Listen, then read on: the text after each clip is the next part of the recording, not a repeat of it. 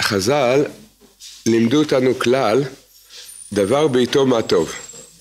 ועיקר הכוונה של חז"ל הייתה שמגיע זמן מסוים, יש עניין ללמוד מעניין הזמן. עכשיו אנחנו בחודש אדר, חודש מאוד מאוד גבוה. ראשי תיבות של אדר זה רישא דלא התיידע. העולם הרוחני הגבוה. אז ה... ובעיקר זה כמובן עניין של פורים. אז בעזרת השם היום נתחיל את הנושא של מגילת אסתר ונתבונן קצת לעומקם של הדברים. הסיפור שכתוב במגילת אסתר זה סיפור אמיתי, סיפור היסטורי אמיתי, והוא התרחש בסוף תקופת גלות בבל. גלות בבל נמשכה 70 שנה, הייתה מזמן חורבן בית המקדש הראשון עד בניין בית המקדש השני. כל העניין של גלות בבל בא לתקן משהו וקצת נדבר על זה, מה בעצם בא לתקן גלות בבל. והעיקר עיקר התיקון למעשה זה בסיפור המגילה. כי סיפור המגילה, סיפור מגילת אסתר התרחש בשושן, שזה אז היה בירת פרס של, של אותה תקופה, זה היה את המן תלו שלוש שנים לפני שהתחילו לבנות את בית המקדש השני.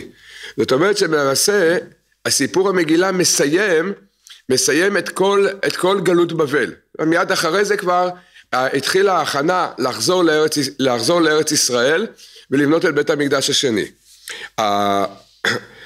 הסיפור של המגילה הכין את עם ישראל לקראת מציאות חדשה. כי ברגע שנבנה בית המקדש השני, התחיל בעם ישראל מציאות חדשה. מה היה ההבדל? היה הבדל מאוד גדול בין כל המציאות של עם ישראל, מיציאת מצרים עד סוף בית ראשון, היה מציאות אחת, ובבית, בבית, כשבנו את בית המקדש השני התחילה מציאות אחרת, חדשה לגמרי. מהי המציאות? חז"ל קוראים לזה נבואה וחוכמה. כל, כל עניין הנביאים זה היה, זה נפסק כשבנו את בית המקדש השני. זה למעשה חכמים הפסיקו את זה, כי ברגע שהם ביטלו את היצרה של עבודה זרה, כשהקימו את בית המקדש השני, אז גם פסקה הנבואה בעם ישראל, והתחיל למעשה זמן חדש, עידן חדש, שנקרא עידן החוכמה. איזה חוכמה? חוכמת התורה שבעל פה. כל המשנה, הגמרא, המדרשים, הזוהר הקדוש, כל מה שיש בידינו היום זה מבית שני ואילך. כי אז התגלתה, התגלה אור חוכמת התורה שבעל פה. כדי, כל זמן, כל פעם שעם ישראל עובר למציאות רוחנית חדשה, עם ישראל עובר ניסיונות. זה כלל גדול מאוד, שכל פעם שעם ישראל צריך להגיע לאיזושהי מציאות חדשה, אז עם ישראל צריך לעבור ניסיונות. ועיקר הניסיונות שלנו, תודה רבה. ועיקר הניסיונות שלנו, שלפני שמתקיימת המציאות החדשה, מתגלית המציאות החדשה, יש מישהו ממונה בבריאה, לכך הוא נברא, לצייר אותנו, להציק לנו, ו- וזה האויב הנצחי שלנו, וזה עמלק.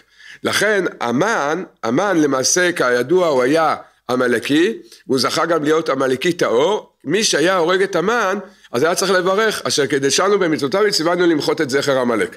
זה, זה עם ברכה. אז זה בירור, זה בירור בין הקדושה לבין, לבין הטומאה, בין עם ישראל לבין, לבין עמלק.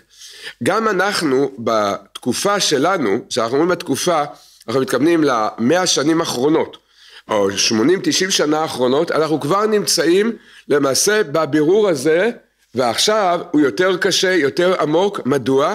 מכיוון שזה שלב ההכנה לקראת הגאולה השלמה.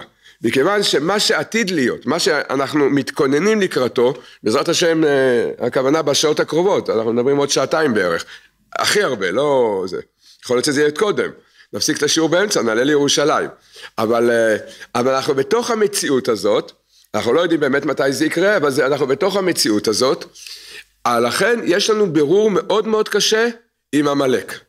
איפה אנחנו נתקלים בעמלק בדור שלנו? דבר ראשון, זה התחיל. התחיל בצורה חריפה מאוד, זה כל סיפור השואה. כל מה שקרה בשואה, מי שזכה להרוג נאצי היה יכול לברך, להרוג אותו בברכה בשם ומלכות. זה מדוע? מכיוון שהם היו עמלקים טהורים. כזאתי רשעות ש, שראו אצלהם, זה, זה, זה רק אצל עמלקים יכול להיות כזה דבר. אחרי שנגמרה השואה, התחיל שלב נוסף בבירור עמלק, שאנחנו נמצאים, אנחנו מקווים כבר בסיומו, אבל בוודאי שבשיאו, איפה עמלק עכשיו נמצא? הבעיה הכי גדולה שעמלק נמצא בתוכנו. זה בתוך כל אחד מאיתנו נמצא עכשיו עמלק. וזה למעשה כל האיסורי נפש, כל הבלבולים, כל הקשיים, ההתמודדויות שעוברות על כל אחד ואחד מאיתנו בדור הזה, זה הכל למעשה הבירור של קליפת עמלק במקום הרוחני שלה. ויש צדדים שזה יותר קשה מלברר את העמלק החיצוני, לברר את העמלק שהוא נמצא בתוכנו. לכן אנחנו רואים, אנחנו יכולים לראות בעצמנו המון המון ספקות יש בדור שלנו, לכל אחד יש ספק מה לעשות ואיך להתנהג ועם מה להתמודד. למרות שצריך גם להגיד עם זה, בד בבד צריך לציין, שב-20-30 שנה האחרונות אנחנו כבר מתחילים לראות אה, בחינה חדשה שמתגלית, והרמח"ל קורא לזה השלב הראשון של הגאולה. הרמח"ל קורא לזה זמן הפקידה, יש אה, שני שלבים כלליים עיקריים בגאולה, אחד זה נקרא הפקידה, והשלב האחרון זה נקרא הזכירה. אנחנו ודאי נמצאים בפקידה. אנחנו מקווים, אולי אנחנו כבר בסחירה, אבל בפקידה ודאי אנחנו נמצאים. מדוע? כי הרמח"ל אומר, מה סימן לזמן הפקידה? הוא אומר, עולם כמנהגו נוהג, לא יראו שום שינוי בעולם, ונהפוך הוא, עוד הגשמיות והיצר עוד יותר יתגברו בעולם, אבל מה כן נראה? מה, מה נראה? עם ישראל יתחיל לחזור בתשובה, והדרך שהוא יחזור בתשובה, זה לא יהיה ממשהו חיצוני.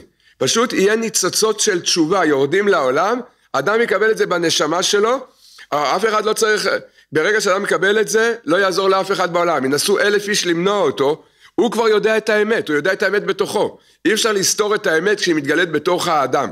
האדם יודע, יש את השם ויש את התורה וזה אמת, ו- ואז מתקיים בפרטיות, בפרטיות משכני אחריך ונרוצה הביאני המלך הדריו. אתה רואה ברגע אחד, אדם עוזב את כל הדמיונות של העולם הזה, הרי לכאורה, אם נתבונן בזה, וזה ב-20-30 שנה האחרונה, כבר סיפרנו את זה, זה למעלה ממיליון בעלי תשובה, וזה לא ממקום פשוט, זה כל אחד יש לו את המציאות שבה הוא היה, שלכל אחד זה מציאות מאוד לא פשוטה. איך, איך בן אדם חוזר בתשובה? איך זה קורה הדבר הזה? זה נקרא זמן הפקידה. ככה מסביר הרמח"ל, אדם מקבל ניצוץ בנשמה, ברגע שהוא מקבל את הניצוץ, יהודי זה חלק אלוקא ממעל. ברגע אחד הוא יודע שזה האמת. זה לא צריך עכשיו, הוא לא בא לשאול אם זה האמת. מה בדרך כלל כבר באים לשאול? מה אני צריך לעשות? תגיד לי רק איך להניח תפילין, תגיד לי איך להתעטף בטלית, איך שומרים שבת. אדם כבר יודע ומתחיל ללכת בדרך הזאת. ולכל אחד יש את הנתיב, את המסלול הפרטי והמיוחד שלו. אנחנו נמצאים, עכשיו מצד אחד אנחנו רואים, בירור עמלק הוא מאוד מאוד לא פשוט, מאוד מאוד לא פשוט, כי הוא, הוא לצערנו הרב היה מהחסידי ברסלב הראשונים בעולם, והוא מקיים, אין שום ייאוש בעולם כלל. הוא לא מתייאש מאיתנו. הוא לא מתייאש מלהכשיל אותנו, מלהפיל אותנו, לבלבל אותנו, אנחנו רואים כל בוקר הוא מתחדש, זה במקרה טוב, בדרך כלל הוא כבר קם חצות, מהלילה מתחיל לבלבל את הבן אדם, איזה בלבולים עוברים על כל אחד ואחד, אז זה הבירור, זה הבירור של, שחייב להיות לפני הגאולה. לכן הספקות, גימטריה ספק זה גימטריה עמלק. וכל הספקות זה באים, זה באים ממנו. אז למעשה, מה שקרה, הסיפור בין מרדכי ואסתר, בפנימיות הוא מאוד קשור לגם מה שקורה איתנו, מה קורה במציאות שלנו. לכן הגמרא שואלת, אסתר, היכן היא נרמזת בתורה? כי כל, כל אדם יש לו רמז ושורש בתורה. אז הגמרא שואלת, אסתר מן התורה מניין? הכוונה, מאיזה פסוק נרמזת אסתר? והגמרא אומרת, על הפסוק, ביום ההוא אסתר אסתר פניי מהם. למעשה, הפסוק הולך על הדור שלנו. ביום ההוא זה הולך על הדור שלנו, שתהיה הסתרה שבתוך הסתרה, שתהיה הסתרת פנים מאוד גדולה. אסתר, שחיה לפני בערך 2,800 שנה, איך היא רמוזה בפסוק ששייך לדור שלנו? מכיוון שכל מה שקרה למרדכי ואסתר, ובפרט לאסתר, זה, זה, זה מרמז, יש בזה קשר מאוד גדול למה שקורה בדור שלנו. הכל, הכל המאורעות המגילה. נתחיל להתבונן עכשיו קצת במעשה של מרדכי ואסתר קצת יותר בעומק ובפנימיות הדבר כדי להבין למעשה מה הייתה העבודה הרוחנית כל כך גדולה ועצומה שהייתה, שהייתה, שהיה למרדכי ולאסתר, שהם זכו שבכוח המסירות נפש שלהם והעבודה שלהם, הם זכו לקבוע חג בעם ישראל, זה לא דבר פשוט. יש לנו למעשה מדי רבנן, כלומר אחרי התורה יש לנו רק שני חגים, פורים וחנוכה. אבל אין שום חג כמו פורים. חז"ל אומרים, עתידים כל המועדות להתבטל, ופורים לא יתבטל. אז זה, כולם מתפלאים על זה. כל כך גבוה פורים, שהוא עתיד שלא להתבטל. יש ספר שנקרא ספר הדעה, שבעל הלשם שבוע בהחלמה, הוא היה אחד מגדולי המקובלים האשכנזים לפני למעלה ממאה שנה בירושלים, והוא כותב שם דבר פלאי, דבר פלאי. אומר, הידוע שהאלף השביעית זה כבר אלף הגאולה, זה הזמן של הגאולה. וכתוב בספרי המקובלים שכל אלף שנה העולם יתעלה עלייה אחר עלייה. זאת אומרת, כמו שזמן הגאולה אין לנו שום השגה בו, כי זה עולם חדש לגמרי, זה מציאות חדשה לגמרי, כך גם באלף השמינית, באלף השביעית לא יהיה לנו השגה מה זה האלף השמינית. באלף השמינית לא יהיה לנו השגה מה זה האלף התשיעית. וכך זה הולך, הולך ועולה. עד, עד אין סוף. אומר, אומר הבעל הלשם שבוע והחלמה בספר הדעה, הוא אומר והאור של פורים נמשך מבחינת האלף השמינית. לא מזמן הגאולה, מבחינת האלף השמינית. זה חידוש נורא מאוד מה שהוא כותב ה, ה, בספר הדעה. רק מכאן אנחנו רואים שיש פה, יש פה דבר מאוד מאוד גדול, רוחני עצום שקרה למעשה ב, בכל המאורעות של, של המגילה, שהמשיכו גם חג חדש וזה לא סתם חג, זה חג כל כך גבוה שנמשך מבחינת האלף השמינית. אז עכשיו נתבונן קצת ב- למעשה בשורש, במהות של גלות בבל ושל הסיפור המגילה. עם ישראל, כשהוא גלה, מבא, נחרב בית המקדש הראשון וגלו לבבל, שואלים את השאלה, חז"ל שואלים למה נחרב בית המקדש? מה הסיבה שנחרב בית המקדש הראשון? יש תשובה מאוד ידועה, למעשה כמעט כולם יודעים את התשובה הידועה. התשובה הידועה שהיו שלוש עבירות חמורות. החמורות ביותר, גילוי עריות, שפיכות דמים ועבודה זרה. יודעים את זה. אבל יש גמרא נוספת, גמרא במסכת נדרים, בדף פ"א, ושם הגמרא אומרת דבר מאוד מאוד מפתיע ותמוה. אומרת הגמרא כך, שאלו, שאלו את, ה, את החכמים על מה חרב הבית, הבית המקדש הראשון, ולא ידעו להשיב. שאלו את הנביאים ולא ידעו להשיב. שאלו את מלאכי השרת ולא ידעו להשיב. עד שבא הקדוש ברוך הוא בעצמו ואמר על מה חרב הבית? על זה שלא בירכו בתורה תחילה. שלא אמרו ברכות התורה. איך מסתדרת הגמרא הזאת עם דברי חז"ל המאוד ידועים שהבית הראשון חרב על השלוש עבירות חמורות, גילוי עריות, שפיכות דמים ועבודה זרה. איך זה קשור זה לזה? מסבירים המפרשים, בפרט יש אחד המפרשים שמי שיוכל מאוד מומלץ לראות את זה, זה הבח, הוא היה אחד מהגדולי הפוסקים, הבח בסימן מ"ז בהלכות ברכות התורה בטור, הוא מביא את השאלה הזאת והוא עונה שם התשובה. אני אגיד מאוד בקיצור את התשובה שלו, אומר הבח, שם יסוד מאוד מאוד גדול. אומר עם ישראל, עם ישראל לא שייך בגילוי עריות, עבודה זרה ושפיכות דמים. ברוך השם אנחנו לא רוצחים. אנחנו לא, אין לנו טבע ללכת אה, להתחיל לעבוד אלילים, וגם לא גילוי עריות, זה לא הטבע של עם ישראל. השאלה של הגמרא הייתה, על מה חרב הבית, השאלה הייתה, מה הסיבה השורשית, מה עומק הדבר שהביא את עם ישראל לעבור את השלוש עבירות החמורות האלה. על זה היה התמיהה הגדולה, על איך יכול להיות שעם ישראל הגיע למצב הזה. ואז התשובה הייתה שלא בירכו בתורה תחילה. לכאורה גם זה קשה. אדם לא יגיד בבוקר ברכות התורה, בצהריים הוא הולך להרוג מישהו? זה, זה, זה עד כדי כך פועל? זה כל כך, כל כך חריף הדבר הזה? מסביר הבח מה הכוונה לא בירכו בתורה תחילה. הכל זה אנחנו אומרים מאוד בקיצור, כדי, בגלל שיש הרבה דברים להתבונן בזה. אומר הבח, לא בירכו בתורה, בתורה תחילה, הכוונה היא לא כיוונו בלימוד התורה ובקיום המצוות להמשיך את השכינה לתוכם. זה הכוונה. למדו תורה להיות חכמים ולדעת איך, איך לקיים את המצוות, אבל לא כיוונו להמשיך את השכינה לתוכם. שואלים המפרשים, שואלים המפרשים שאלה, מה זה נקרא להמשיך את השכינה לתוכנו? זה כתוב בפרשה שקראנו בשבת, פרשת תרומה. ועשו לי מקדש ושכנתי, איפה שכנתי? בתוכם ולא בתוכו. גם בתוכו, אבל מה העיקר? ועשו לי מקדש ושכנתי בתוכם, זה סוד השראת השכינה בתוכנו. שואלים המפרשים, מה הלכה למעשה, מה הכוונה השראת השכינה בתוכנו? איך נדע לעבוד על הנקודה הזאת? איך נדע לפעול משהו שבמושג כזה שנקרא השראת השכינה, השכינה בתוכנו? מסבירים הרבה מפרשים מביאים את זה. השראת השכינה בתוכנו הכוונה היא על שלוש נקודות. להרגיש בלב אהבת השם, יראת השם ורצונות וכיסופים להתקרב לקדוש ברוך הוא. זה נקרא השראת השכינה בתוכנו. כשאדם זוכה להרגיש אהבה לקדוש ברוך הוא, יראה ו- ורצונות וכיסופים לקדוש ברוך הוא, זה נקרא להמשיך את השכינה לת- לתוכנו. על זה בעצם תכלית כל הבריאה. הקדוש ברוך הוא נתן לנו תורה, מצוות, מעשים טובים, כל הצדיקים, כל העצות, כל זה למה? בשביל מה? לא שנהיה פרופסורים לגמרא, לא בפרט שנהיה קבלני מצוות, ללמוד הרבה תורה זה מעלה גדולה, לעשות הרבה מצוות זה מעלה גדולה, לא זה התכלית אבל, זה הדרך להגיע אל התכלית. מהי התכלית? התכלית היא להשרות את השכינה בתוכנו, דהיינו שנרגיש בלב אהבה ויראה. ואם נתבונן בדבר הזה, אין, לך, אין דבר יותר קשה מזה. מדוע? כי מה כל העבודה של היצר הרע?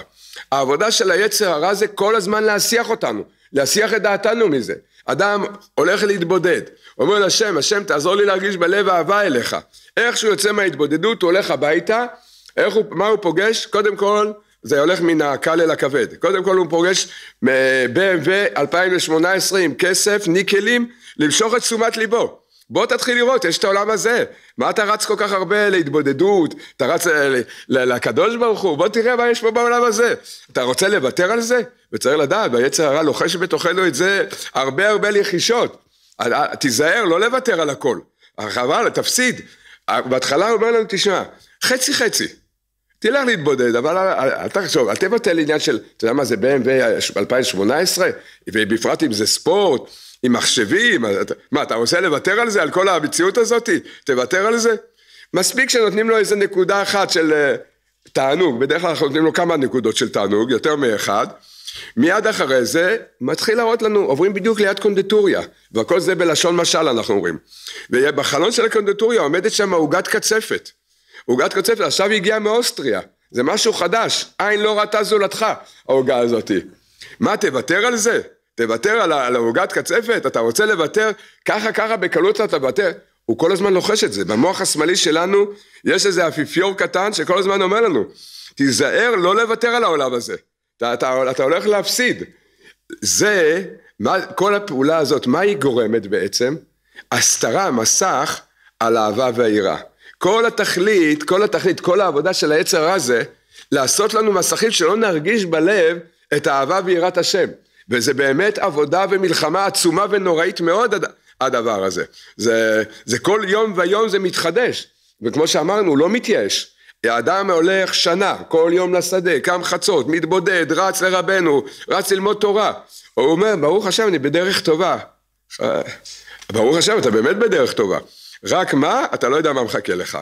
אתה, לפני כמה זמן מישהו אמר לי, אתה יודע, ברוך השם, העץ הרע קצת עזב אותי. אמרתי לו, עזב אותך? אתה יודע לאן הוא הלך? אמר לי, לאן הוא הלך? למכון כושר. ללמוד שיטת לחימה חדשה, הוא לומד עכשיו קראטה, הוא לומד שיטות חדשות.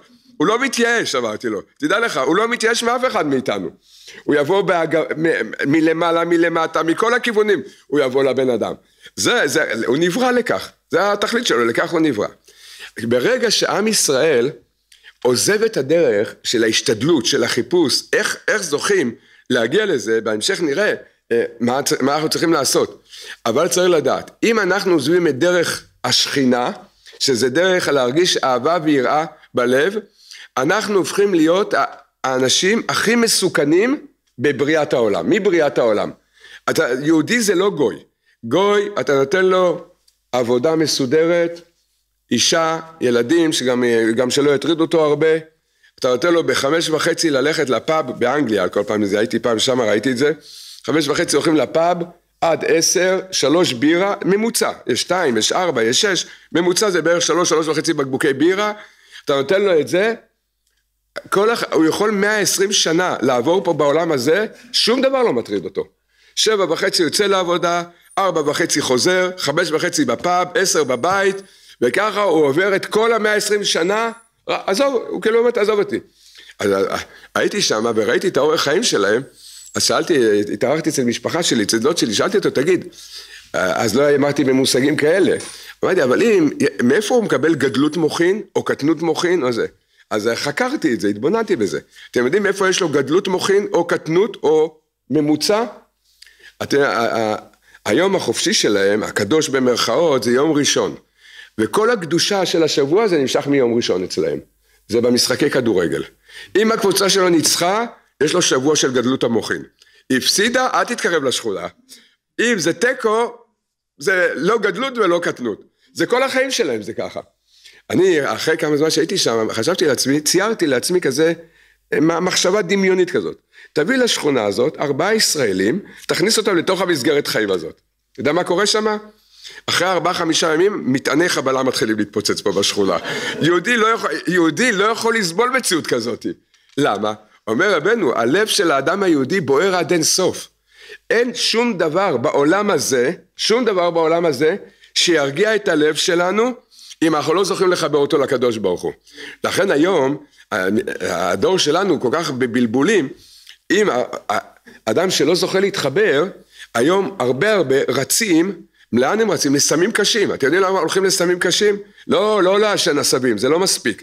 צריכים, אז, למה?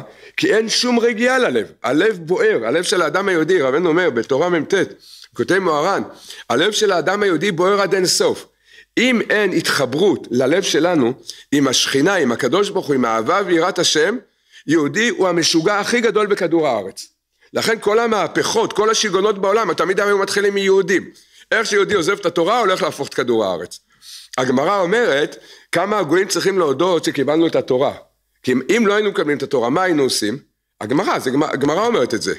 היינו מחריבים את כדור הארץ, את העולם, כל 70 שנה.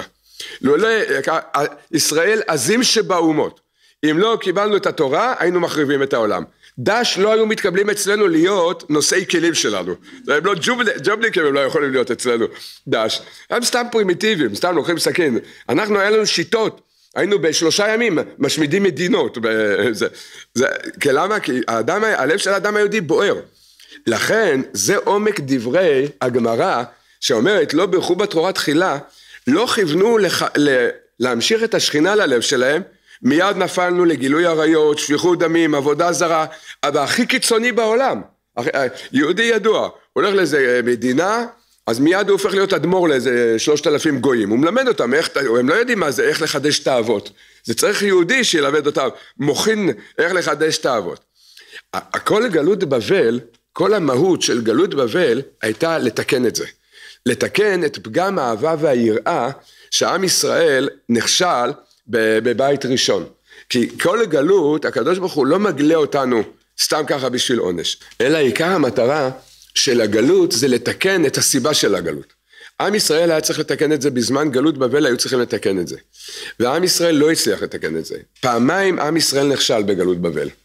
בנבוכדנצר, מלך בבל, הוא למעשה היה זה שהחריב את בית המקדש, נבוכדנצר. הוא שלח את שר הצבא שלו שקראו לו נבוזרדן להחריב את בית המקדש. בשעה שהוא החריב את בית המקדש, הם הגלו את עם ישראל לבבל. הייתה דרך ארוכה, מארץ ישראל, הלכו ברגל עד בבל. נבוכדנצר אמר לנבוזרדן, בדרך אל תיתן להם להרים את הראש שנייה אחת. שם עליהם סד, זה כוונה עץ על הצוואר, עינה אותם בדרך, זה היה דרך מאוד מאוד קשה. נבוכדנצר אמר לנבוזרדן, כל זה, זה עד בבל. ברגע שהם מגיעים לבבל, מחכה להם פה כל העולם הזה. היה שם כבר יהודים שגלו קודם לכן, היה לעם ישראל מאוד מאוד טוב בבבל. אז נבוזרדן שאל את נבוכדנצר, למה לעשות את זה? אמר לו, תראה, איזה אלה עם שברגע שהם מתפללים לקדוש ברוך הוא, מקבל את התפילה שלהם. אם הם יבכו בדרך, שהם רוצים לחזור, שהם עושים תשובה, הקדוש ברוך הוא יחזיר אותם לירושלים. אני לא רוצה שהוא יחזיר אותם לירושלים. אבל זה, אומר לו נבוכדנצר, אמר לנו זרדן, זה אני חושש רק בדרך. הם יגיעו לפה, אל תדאג. אני אשכיח להם את כבר את כל הרצונות לחזור לירושלים. מדוע? כי בבל הייתה מרכז העולם אז. מרכז התרבות, האומנות, היופי, העושר, הכל היה בבבל. בבל זה אזור בגדד והסביבה של, של היום. מה, מה עשה נבוכדנצר? ברגע שעם ישראל הגיע לבבל, ולמעשה היה להם את התנאים הכי טובים.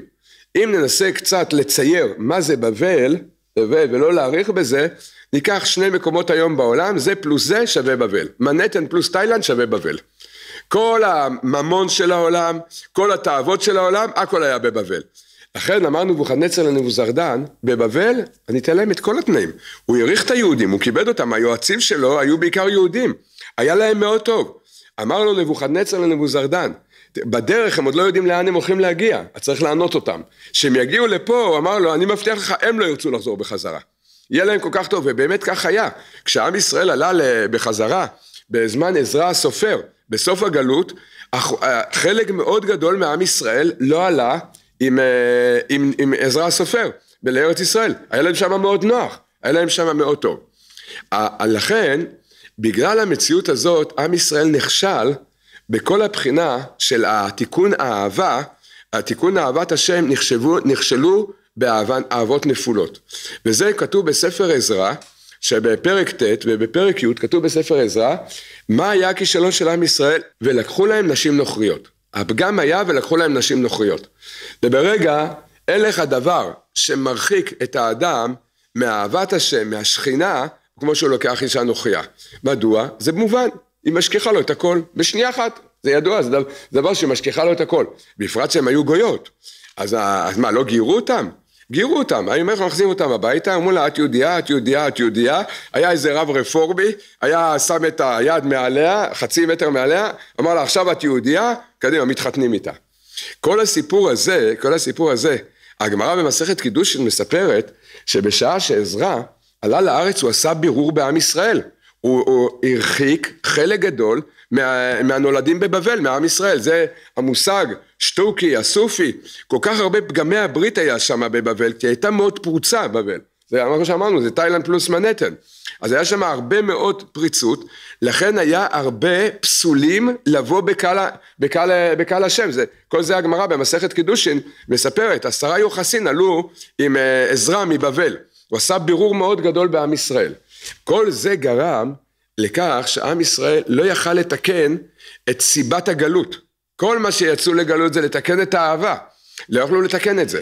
היה ניסיון נוסף לתקן לעם ישראל לקראת סוף הגלות. הקדוש ברוך הוא נתן לעם ישראל אפשרות נוספת לתקן את זה, וזה היה בסוד סעודתו של אחשורוש.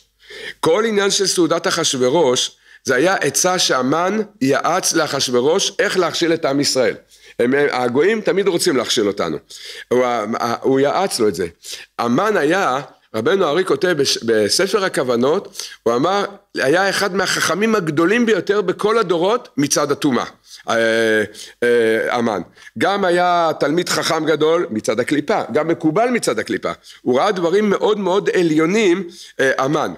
המן אמר לאחשוורוש, אלוקיהם של אלה שונא זימה. הם כבר נכשלו, בוא נכשיל אותם עוד.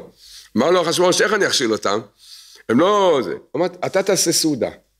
אל תחייב אותם לבוא לסעודה. כי אם אתה מחייב אותם לבוא לסעודה, הגמרא אומרת, מה יקרה? אונס רחמנא פטרי. אתה, הם מחייבים. תזמין אותם לסעודה. אל, אל תחייב אותם לבוא לסעודה, תזמין אותם לסעודה. הם מצד הכבוד שלך, הם יבואו.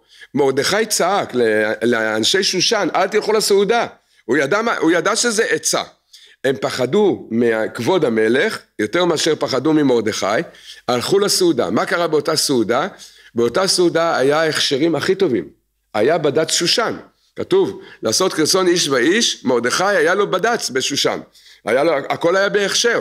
לא נהיה נסך, שחיטה הכי מהודרת, היה שם הפרדה בין גברים לנשים. לכאורה הכל בסדר.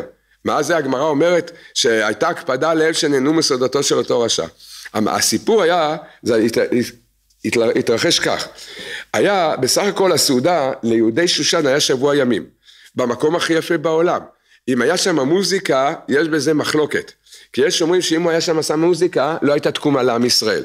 ברגע שיש כוח טומאה גדול, אם אתה גם מוריד, מגלה גם מוזיקה מצד הטומאה באותו מקום, זה שם אי אפשר כבר לקום. המוזיקה זה, זה כוח בנפש מאוד מאוד גדול. יש כאלה, יש בזה מחלוקת אם היה שם ניגונים או לא היה ניגונים בסעודת אחשורוש. אבל חוץ מניגונים ודאי היה שם הכל. בעיה עזרת גברים, עזרת נשים, מלצרים, ודאי צניעות, עזר, אה, אה, כל המלצרים היו זה, היו גוי, אה, גברים, בעזרת גברים, נשים, בעזרת נשים. רק מה קרה? אחרי יומיים, זה היה שבוע רצוף, אחרי יומיים כבר התחילו קצת להתעייף, כמה המלצרים יכולים לעבוד? בסדר, אז כבר שתי משמרות עברו, 24 שעות, 24 שעות. המשמרת השלישית היה חסר לאחשוורוש ולאמן כמה מלצרים. לא הייתה להם ברירה, אז הביאו כמה מלצריות. זה לא, לא בגלל שהם באמת רצו פה משהו לא טוב, לא הייתה ברירה, הביאו כמה מלצריות. במשמרת הרביעית זה כבר היה חצי גברים, חצי נשים במצרות. מי שם לב כבר? השתייה כדעת אין אונס. יין שם נשפך כמים, ו- ויושבים ונהנים, מי עכשיו שם לב, מה, אז באה איזה כסדית אחת, מה, מה אכפת לנו מהכסדית הזאתי? בסדר, גם היא באה בלבוש של מאה שערים. בשעתיים הראשונות הם לבשו לבוש במאה שערים. אחרי שעתיים הסתבר שחסר קצת בדים למצרים הבאים. אה, וככה זה הולך. ככה, עד שהגיעו, אחרי ארבעה חמישה ימים, כבר יושבים בסעודה, שותים הרבה יין, אוכלים את המאכלות הכי טובים בעולם, והכל זה בהכשר בד"ץ. אין שום בעיה. מה קורה בלב של האדם? הלב של האדם נפתח, מתחילה להיכנס קלות דעת. אפשר להביא פה כסדיות, פרסיות, בבליות, אין פה שום בעיה. אנחנו פתוחים, אנחנו אנשים פתוחים.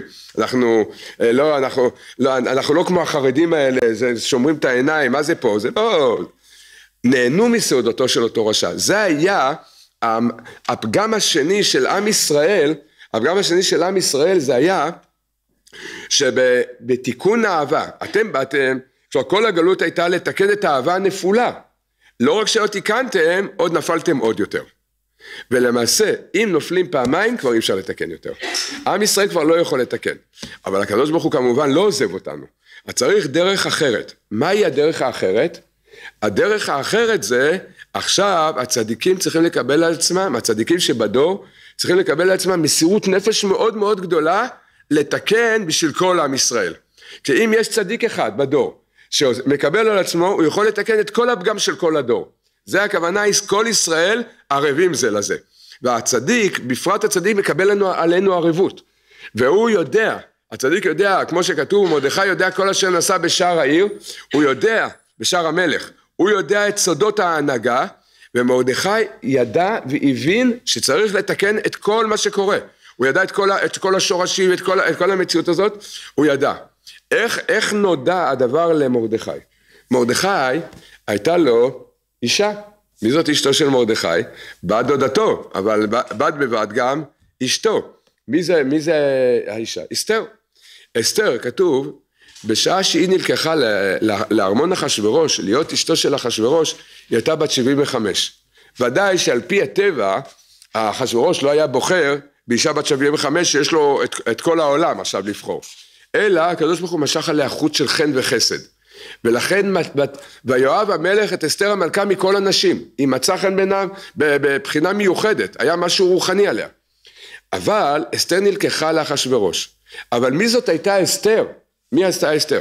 כתוב תרגום, אחד התרגומים שלה, מגילת אסתר, זה נקרא תרגום השני, כותב, אסתר שהייתה בת 75, ככה כתוב בתרגום, לא ראתה מימיה פנים של גבר.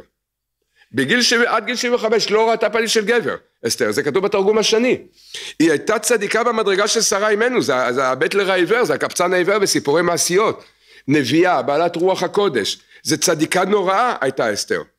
בשעה שהיא נלקחה לארמון אחשורוש, רש"י כותב במגילה, על זה היה תמה המרדכי, מה לצדק את זו בחדר משכבו של ההראל?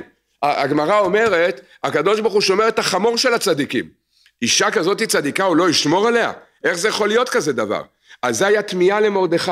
אומרת, אומר המדרש שרש"י מביא אותו במגילת אסתר, שמרדכי היה אחד משני צדיקים שראה דבר והבין. והבין. דוד ומרדכי. מה אמר מרדכי? אם קרה כזה דבר יוצא דופן ומוזר, שצדיקה כזאתי נלקחה לחדר משכבו של ההראל, מה זה אומר בהכרח? שלא נלקחה צדקת זאת, אלא כדי להביא תשועה לעם ישראל.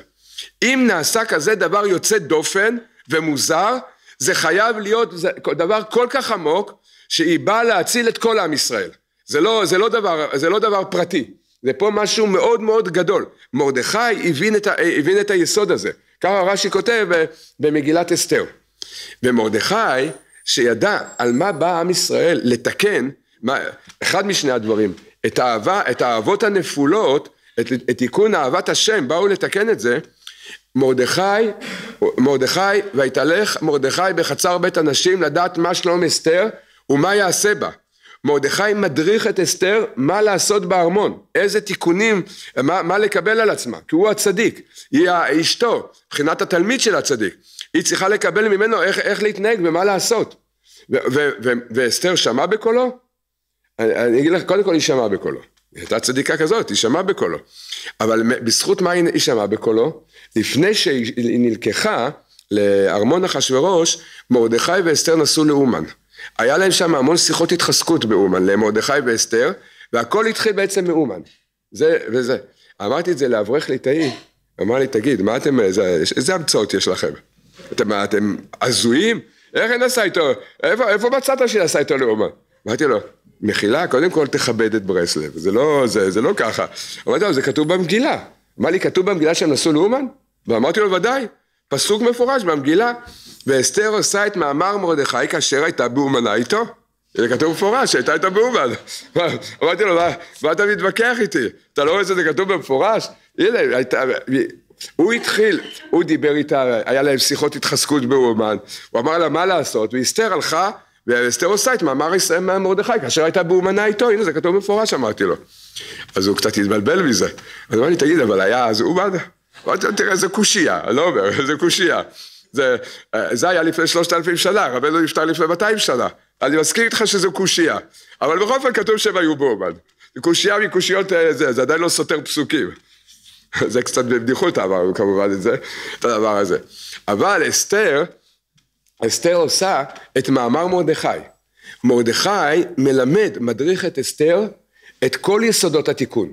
אסתר נכנסה לחדר משכבו של הראל, לארמון של אחשורוש, לתקן את כל עם ישראל, והיא באמת זכתה בזה. מה הייתה העבודה שלה? מה הייתה העבודה של אסתר לתקן את זה? ידוע, טבע האדם, שאדם נהנה מדברים יפים. זה טבע האדם, ככה הקדוש ברוך הוא ברא אותנו. כל שכן, אישה, כשזה מדובר בתכשיטים, בדברים יפים. אומר, אומר המדרש, אחשורוש ויואב המלך את אסתר המלכה מכל הנשים. הוא אוהב אותה מאוד, זה משמיים. משכו חוט של חסד, של חן וחסד על אסתר, הוא, היא רק מנחמת אותו אחרי כל מה שהיה לו עם ושתי. יש לו אהבה מאוד גדולה אליה. מה הוא עושה? הוא רוצה להתקשר איתה, להתחבר איתה, הוא רוצה לשמח אותה, לפעס אותה. הוא האדם הכי עשיר בעולם, המלך ששולט על כל העולם. לא היה דבר יפה, לא היה תכשיט בעולם שהוא לא היה מביא לה. המאכלות הכי הכי ערבים, הכי מיוחדים בעולם. לוקח אותה בכרכרה של זהב לטייל במעיינות, באגמים, מראה לה את הדברים הכי יפים בעולם. אומר מרדכי לאסתר, אסתר, את לא נותנת לעצמך רשות ליהנות אפילו לא כחוט השערה מכל מה שהוא נותן לך. זה הסוד של העבודה של אסתר שהייתה בארמון של אחשוורוש. מדוע? מה הסיבה? מה הסיבה? יש פה נקודה מאוד מאוד עמוקה. הרמח"ל כותב במסילת ישרים, לא נברא האדם אלא להתענג.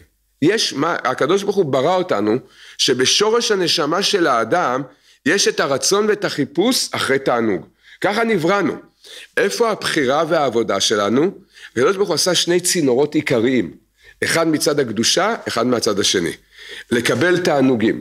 אנחנו חייבים לקבל תענוגים. אבל אנחנו בוחרים, צריכים. העבודה שלנו זה לבחור לקבל את התענוגים שבאים מצד הקדושה ולא מה, לא מהצד השני. ויש בזה מלחמה מאוד גדולה. אומר הזוהר הקדוש דבר נורא. ברגע שאדם מקבל תענוג ממקור מסוים, ממקום מסוים, מיד הנפש של האדם משתעבדת לאותו מקום. זה כלל מאוד גדול. הזוהר אומר שאם עם ישראל לא היו אוכלים ממאכלי המצרים, לא היה שעבוד מצרים. כל מה שהשתעבדו במצרים, עם ישראל, זה שנהנו מהמאכלים של מצרים. לא שלא היה כשר, כשר, אבל ברגע שהמצרים נתנו להם את, ה, את האוכל, הם נהנו מזה, ההנאה הזאת, התענוג הזה, גרם לשיעבוד.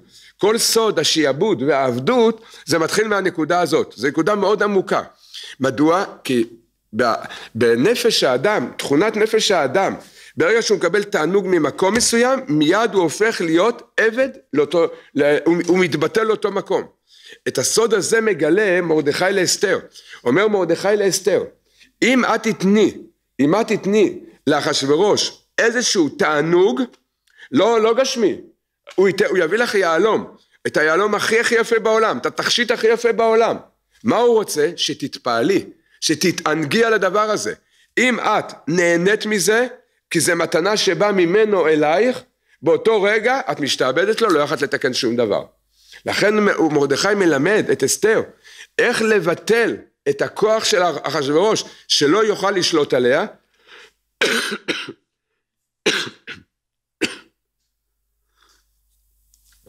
אומר מרדכי לאסתר, העבודה שלך זה שתזכרי, את לא מרשה לעצמך לקבל שום תענוג מאחשוורוש. אבל פה נשאל קושייה גדולה מאוד. יש פה קושייה גדולה מאוד. הרי יש דברים שהם בטבע האדם. יש דברים שהם בטבע האדם. יראו לאדם איזה דבר מאוד מאוד יפה שהוא אוהב אותו, אוהב לראות את זה. אם יש לבן אדם משיכה לראות מכוניות יפות, או לראות נופים יפים, ברגע שהוא יראה איזה נוף יפה במיוחד, או הוא יראה איזה מכונית, משהו מיוחד, הוא, לא, הוא יכול לא ליהנות מזה? הרי זה בטבע של הנפש, שאדם באותו רגע ייהנה מזה. מה יכולה לעשות אסתר? מה, יש לה תוואים, יש לה מציאות מסוימת, היא לא יכול, מה, היא יכולה להתכחש למציאות הזאת? אי אפשר להתכחש לזה. מרדכי אומר לאסתר, נכון, זה ככה, זה המציאות. אבל מה שאת נהנית באונס, כי זה הטבע של האדם, על זה אין בעיה. רק מה, באותו רגע שאת נהנית, מה את צריכה לעשות? מחאה לקדוש ברוך הוא. מיד להגיד לקדוש ברוך הוא, אני לא רוצה את הדבר הזה. מיד לבטל את זה על ידי תפילה ודיבור. כי התפילה והדיבור הם פועלים שהנפש לא תשתעבד לתענוג הזה. לכן לפעמים יש מצב שאדם בכל מיני מצבים חייב לקבל איזשהו תענוג מאיזשהו מקום. באותו רגע שקורה את המצב הזה, באותו רגע, באותו שנייה שאתה נזכר, מיד תעשה תפילה לקדוש ברוך הוא, אני לא רוצה את זה. למה אני לא רוצה את זה? כי אני רוצה לקבל תענוגים ממך ולא משום מקום, מקום אחר. לא רוצה שמישהו אחר, לא רוצה שאיזה קונדוטוריה תביא לי עכשיו כל שני וחמישי מביאים איזה עוגת קצפת חדשה. זה היום העניין של האתרים, זה, למה זה נקרא גלישה מהירה?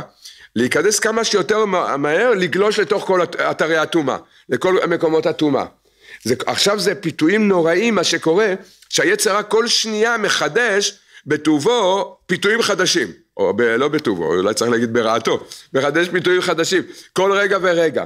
יש שתיים וחצי, אמר לי איש מחשבים, יש הערכה לפחות שתיים וחצי מיליארד אתרים, מתוכם, מתוכם יש עשר אחוז, הוא אמר לי, אתרים של טומאה גמורה. מה, היה, מה, מה אפשר לעשות בדור הזה? זה כבר מוקרן בא, באוויר, זה האדם הולך ברחוב, הוא, הוא לוקח אוויר, הוא יכול, לא, אפשר, לא נעים ללכת עם בלונים, אתה, אתה נושם את האוויר של הרחוב, באוויר של הרחוב יש כבר מולקולות של ניאוף, של תאוות ממון, של כבוד, גאווה ושיגעונות, זה, זה, מוקרן, זה מוקרן בכל האוויר, זה, מישהו אמר לי, אתם זוכרים מה היה המולקולה של אוויר? מאיזה CO2, מה, מה זה היה זה? חמצן, פחמן, כיתה A, כיתה A, אתם לא זוכרים? כימיה, כיתה A, למדנו אה, זה, והאוויר מורכב ממולקולות. אז צריך לדעת, שמעתי ככה מהמדענים החדשים, מהדור החדש, מהמדע המודרני, שהיום זה כבר לא המולקולות של האוויר, עכשיו יש מולקולות אחרות. מולקולה של תאווה ידועה, כבוד, קנאה, גאווה וממון, זה המולקולה החדשה. אדם עולה, יוצא לרחוב, לוקח אוויר, הוא נושם את התאוות. זה נכנס כבר לתוכו. זה המציאות שלנו. זה, מה עושים? מה, מה, מה, מה אפשר לעשות במציאות כזאת? זה, אומר רבנו, דבר נפלא מאוד מאוד בנקודה הזאת. ברגע שאדם מה, לוקח את המציאות שבה הוא נמצא, לא משנה עכשיו, עבר לך מחשבה לא טובה, ראית דבר לא טוב, לא משנה. באותו רגע אתה מעלה את זה בדיבור לקדוש ברוך הוא. אתה אומר לקדוש ברוך הוא, אני לא רוצה ליהנות מהדברים האלה, אני רוצה לקבל את התענוגים ממך, לא מפה. באותו רגע אתה הופך את הכל לטובה. זה הסוד ש, שיש עכשיו שתיים וחצי מיליארד אתרים. עכשיו יש אתר אחד שמתקן את כל השתיים וחצי אתרים. מה זה אה, מיליארד? מה זה האתר הזה? זה כתוב בזוהר, האינטרנט כתוב בזוהר, מי שלא יודע את זה. לית אתר פנוי מיני. ברגע שאדם יודע, לית אתר פנוי מיני, מיד מתקן את כל, התו, את כל הרוחות סערה שיש עכשיו בעולם. איך זוכים להגיע ללית אתר פנוי מיני? אומר רבי נתן מליקוטי הלכות, זה הסוד שאומר מרדכי לאסתר. הוא יראה לך תכשיטים, יהלומים, ייקח אותך למעיינות, את תראי דברים שאת לא יודעת בכלל שיש, בפרט את, הבטלר העיוור, את לא יודעת שום דבר מה, מה קורה בעולם הזה. אל תעזבי את הדיבור ואת המחאה לקדוש ברוך הוא. כל הזמן תגידי לקדוש ברוך הוא, אני רוצה אותך, לא רוצה את העולם הזה. לא רוצה את חדר משכבו של ההראל. אסתר זכה חמש שנים, סך הכל היא הייתה נשואה, כביכול נשואה לאחשוורוש שש שנים. חמש שנים אסתר זכתה לעשות עבודה נוראית בדבר הזה, בנקודה הזאת. לא קיבלה כחוט השערה של תענוג מאחשוורוש. אבל יש שאלה גדולה מאוד. כל זה אנחנו יכולים להבין בעבודה שיש לאסתר יהלומים, אה, נופים יפים, מאכלות ערבות, מסיבות, בגדים, בסדר, אפשר להבין את זה. אבל פה מתעוררת שאלה מאוד גדולה שלמעשה הגמרא והראשונים שואלים אותה. כל זה טוב ויפה, אבל מה עם חדר משכבו של אותו הראל? כפשוטו מה עם חדר משכבו של אותו הראל? הרי עם ישראל מצווה על גילוי עריות. יהודייה, יש את איש גם, היא הייתה אשתו של מרדכי. איך, איך פותרים את הבעיה עם, עם חדר משכבו של ההראל הזה? זה, זה שאלה של הגמרא ושל הראשונים, השאלה הזאת. ידוע, יש שתי תשובות בדבר. יש אומרים, אסתר קרקע העולם, דין הלכתי לגבי אישה שזה שונה מגבר, צריך לדון בזה ולהבין את זה, אבל יש לה דין שונה מגבר, והתירוץ השני זה, אסתר הייתה שולחת שדה. בעצם היא מעולם לא הלכה לאחשוורוש. מרדכי לימד אותה, אמר לה אסתר אני אלמד אותך אה, פטנטים. איך שהוא רוצה אותך, תקראי לאיזה שדה, תשלחי אותה.